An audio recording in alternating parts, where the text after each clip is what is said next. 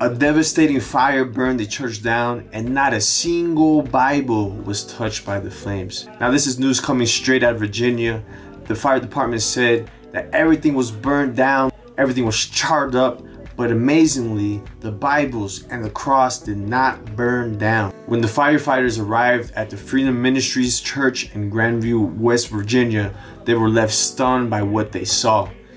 A devastating fire, so hot that the firefighters had to back down at one point, was ravaging through the building. Coal City Fire Department said in their Facebook post, which is attached below. As they went through the charred wreckage, they noticed something extraordinary. Quote, in your mind, everything should be burned into ashes. Not a single Bible was burned, and not a single cross was harmed, the department wrote. The Facebook post, which went viral, features compelling photos of a pile of about a dozen intact Bibles surrounded by the rubble.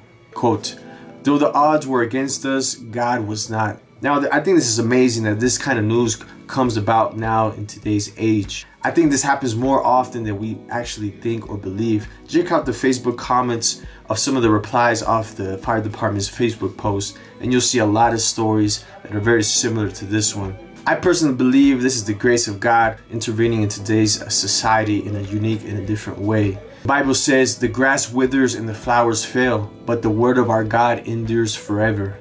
Once again, we see this in actuality with this example. Just as Psalm 18:30 says, "The Lord's word is flawless. He shields all who take refuge in him." Once again, we see the example of the Bible withstanding the fire because it is a shield to the person that believes. I personally think that the Lord intervenes in these little examples, maybe to perhaps spark a little faith within the believers and non believers of society.